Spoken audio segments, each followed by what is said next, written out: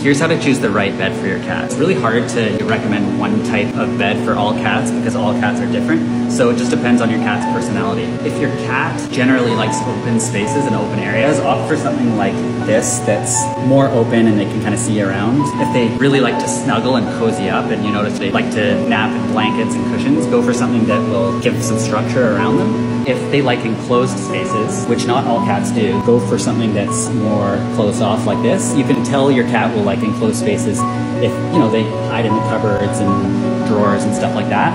And then lastly, if your cat likes to go in high spots, you could opt for something like our Cloud9 window hammock where they can get a nice little view.